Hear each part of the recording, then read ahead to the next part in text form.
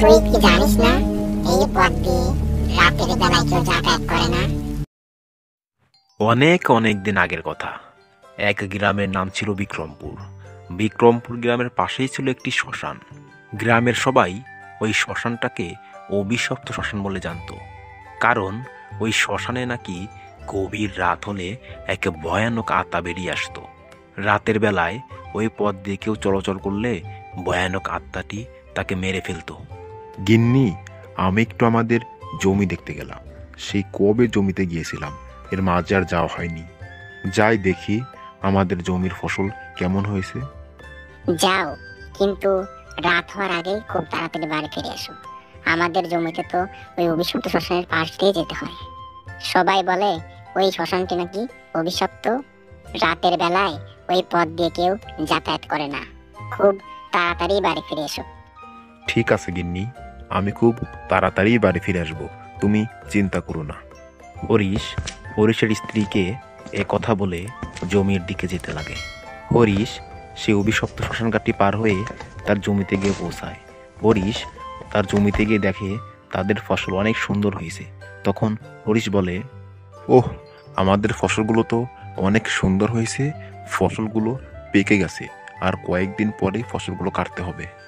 হরিশ ফসল দেখে বাড়ির দিকে ফিরতে লাগে।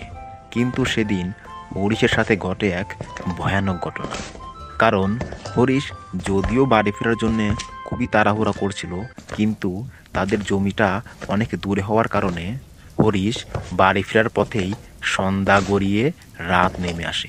তখন হরিশ বলে আজকে মনে হয় আমার সাথে খারাপ কিছু ঘটবে? বাড়ি ফেরার পথেই রাত নেমে আসলো। এখনও তো শ্মশান ঘাটটা পার হতেই পারলাম না। সবাই বলে শ্মশান ঘাটটা নাকি অভিশপ্ত। রাত হলেই নাকি এক মায়াবিনী আত্মা বেরিয়ে আসে। আজ যে আমার সাথে কি হবে, কে জানে? হরিশ, এ কথা বলে বাড়ির দিকে যেতে লাগে। হরিশ, বাড়ির দিকে যেতে যেতে সেই অভিশপ্ত শ্মশান ঘাটটির কাছে গিয়ে পৌঁছায়। তখন হরিশ দেখতে পায় তার সামনে এক অধরা দাঁড়িয়ে আছে।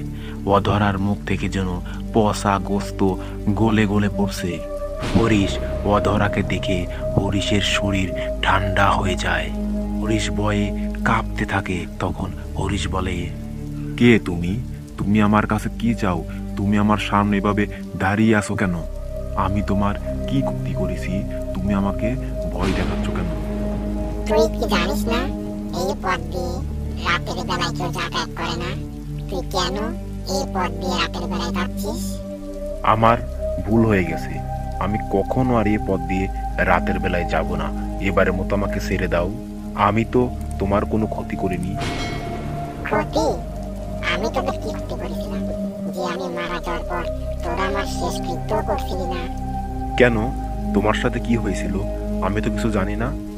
শোন তাহলে আমিও তোদের মতনই ওই গ্রামে বসবাস করতাম। একদিন আমার হঠাৎ করে বসন্ত রোগ হয়। আমরা অনেক গরিব ছিলাম বলে টাকার অভাবে চিকিৎসা করাতে পারিনি। চিকিৎসার অভাবে আমার মৃত্যু হয়।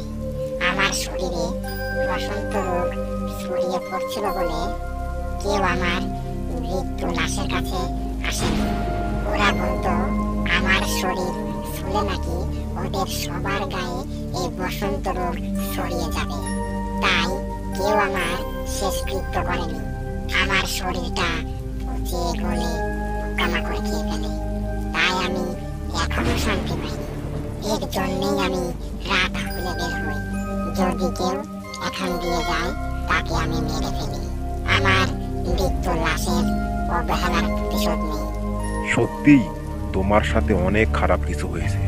আমি সবার হয়ে তোমার কাছে ক্ষমা চাইছি। তুমি সবাইকে ক্ষমা করে দাও। তুমি এবারের মতো আমাকে যেতে দাও। তোকে ছেড়ে দিতে পারি একটি শর্তে তুই যদি আমার শর্তে রাজি হোস তাহলে তোকে ছেড়ে দিব। হ্যাঁ তুমি বলো আমি তোমার সব শর্তে রাজি। আমাকে কি করতে হবে তুমি আমাকে বলো। আমার শর্ত হলো তোদের গ্রামের যদি কেউ অসুস্থ হয় তোরা সবাই মিলে তাকে সাহায্য করবি। তোরা কেউ কাউকে অবহেলা করবি না।